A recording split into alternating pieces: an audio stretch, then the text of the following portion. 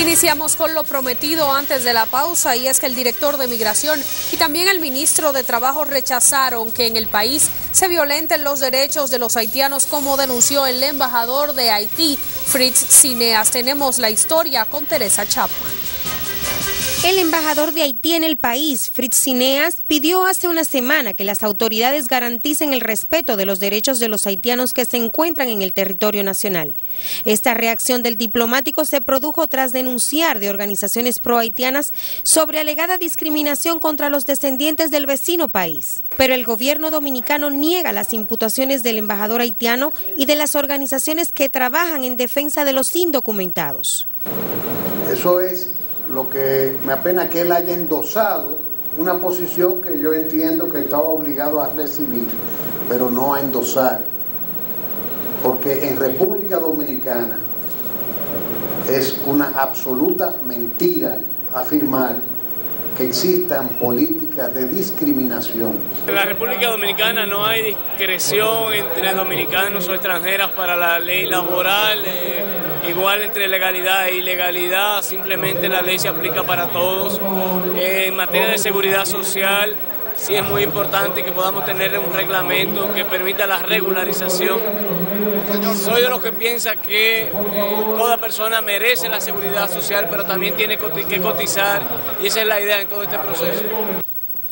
El director de Migración, José Ricardo Taveras, exigió que el embajador Fritz Cineas se preocupe por contribuir a que los haitianos ilegales puedan ser dotados de documentación, como es el interés de las autoridades dominicanas. Donde le invitamos muy encarecidamente y de manera muy respetuosa que urgiera a su gobierno para que facilite a los consulados haitianos la documentación de los nacionales haitianos que están en la República Dominicana. Yo creo que ese es un papel mucho más interesante que puede cooperar para que la Dirección General de Migración documente miles de haitianos. El gobierno ha puesto en marcha el reglamento de regulación de la contratación de la mano de obra extranjera y ha exigido que los obreros haitianos que laboren en diferentes sectores sean dotados de documentaciones legales. Teresa Chatman, Noticias Telemica. Y la Policía Nacional informó hoy que fueron apresados en el sector Los Tarugos en Samaná dos presuntos delincuentes que admiten haber participado en un frustrado asalto al supermercado Dragón de Oro. También informó que continúan las investigaciones en torno al robo de los cables del puente Duarte. Xiomara Brito con los detalles. La institución del orden informó del apresamiento de Josué Sosa de la Cruz y Luis Alberto Rodríguez, residentes en el sector de Villaduarte, quienes admiten haber participado en la muerte de Pedro Pablo Polanco en un asalto al Dragón de Oro en el sector de Bellavista. A dos presuntos delincuentes quienes admiten haber participado y ocasionado la muerte del señor Pedro Pablo Polanco, alias Don Pablo, de 61 años, durante un frustrado intento de asalto al supermercado Dragón de Oro, ubicado en la avenida Rómulo Betancourt, esquina Iguemota, número 1351 del sector Bellavista del Distrito Nacional.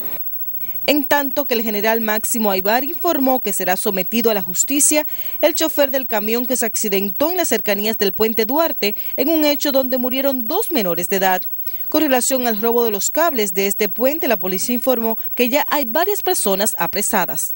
Desapresivos que aún continúan en su afán, terroristas urbanos como lo hemos calificado, que continúan en su, afán de eh, dañar la estructura del puente. Nosotros no vamos a cesar en la persecución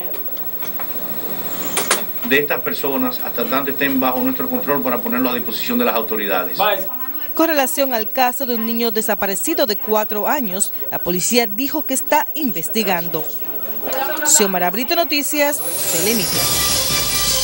El ministro de Obras Públicas, Víctor Díaz Rúa, informó que el presidente Leonel Fernández tiene previsto inaugurar más de 100 obras construidas por el gobierno en diferentes partes del país. Indicó que estas obras serán puestas en servicio antes del 16 de agosto.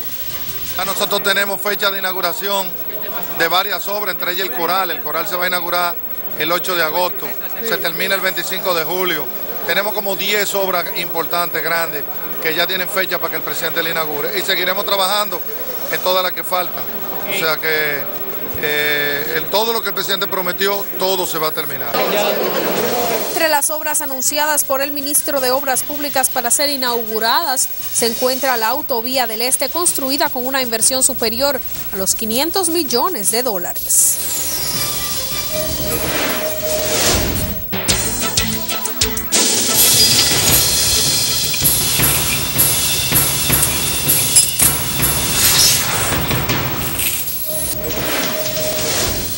Y en las económicas con Leighton Mejía vamos a ver qué sector ya está adecuando sus contrataciones de empleados con la ley de migración. Adelante Leighton, buenas tardes. Buenas tardes, buenas tardes Susi. Así es, eh, como tú bien dices, la ley general de migración está causando estragos en las empresas agropecuarias y en las empresas agroindustriales y ahora están ajustando todo lo que tiene que ver con la contratación de la mano de obra haitiana. Vamos a ver, no solamente de la mano de obra haitiana, sino de, otros países.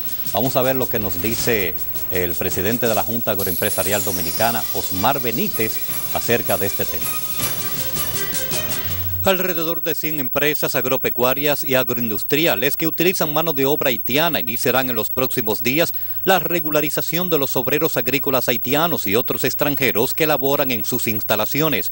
El vicepresidente ejecutivo de la Junta Agroempresarial Dominicana, Osmar Benítez, dijo que esas empresas ya comenzaron el registro del personal extranjero ante la Dirección General de Migración. La Tesorería de la Seguridad Social logró sus niveles a récord de recaudaciones en el recién concluido mes de mayo, alcanzando el monto de 4.800 millones de pesos correspondientes a 51.000 notificaciones de pago de empleadores en el régimen contributivo. Según informó esa entidad, esta es la mayor cifra alcanzada en un mes por la tesorería desde el inicio de las recaudaciones en el mes de junio del 2003. Como parte de su plataforma de consumo inteligente, Cervecería Nacional Dominicana lanzó su campaña de 90 de alcohol a menores de edad 2012, a través del cual orienta dueños de puntos de ventas acerca de la importancia de proteger a niños y adolescentes menores de 18 años del acceso al alcohol. Esta campaña participan colmados, discotecas, liquor stores, bares y restaurantes.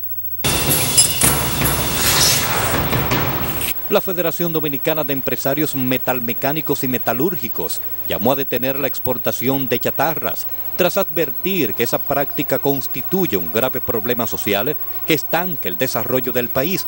La exportación de chatarras es un problema social, político, de tránsito, de salud y económico con el cual han surgido todo tipo de negocios ilícitos. Bueno, esto es todo lo que tenemos hasta el momento. Susi, ahora regreso contigo. Muchísimas gracias, Leighton. Nos reencontramos mañana. Ahora seguimos hablando de economía y es que los comerciantes de Villa Consuelo, su asociación, denunció que las largas tandas de apagones afectan las ventas de los negocios que operan en esa barriada. Mario Chavebe, presidente de la entidad, dijo que sufren apagones por más de 12 horas, lo que ha provocado la caída drástica en las ventas la tanda de innumerables y infinitos apagones día por día, que comienzan desde las 7 de la mañana hasta las 7 y 8 de la noche todos los días. Ya en esto estamos alrededor de más de dos meses, donde ha acarreado pérdidas millonarias el cierre de decenas de pequeños y medianos negocios en esa importante arteria comercial como lo es Villa Consuelo. Una hora. La Asociación de Comerciantes de Villa Consuelo advirtió que ya no soportan los daños que provocan los prolongados apagones, por lo que pidieron a las autoridades mejorar el suministro del servicio energético. Y el clúster de mangos informó que en los últimos meses se ha registrado un incremento de las exportaciones de ese producto, principalmente a Estados Unidos, Europa, Canadá y Japón. Rafael Enríquez, presidente del clúster de mangos, indicó que las exportaciones han aumentado por la calidad de los mangos que se producen en el país. Va a haber exhibición de todas las variedades de mango que producimos en el país, el nivel de producción que tenemos ya en las exportaciones, las variedades, se van a exhibir ciento y pico de variedades de mango tanto nativas como introducidas. Eh, van a haber jornadas técnicas y una revisión real ah, que hacemos año tras año de qué está pasando en la industria del mango en la República Dominicana. Rafael Enríquez habló sobre este tema al anunciar la feria Expo Mangos 2012 a celebrarse en Baní del 14 al 17 de este mes con la exhibición de más de 100 variedades de esta fruta. Luego de esta refrescante noticia vamos a la pausa y les contaremos qué novedades hay en el caso de la tienda Vistar acusada por la DNCD de lavado de activos.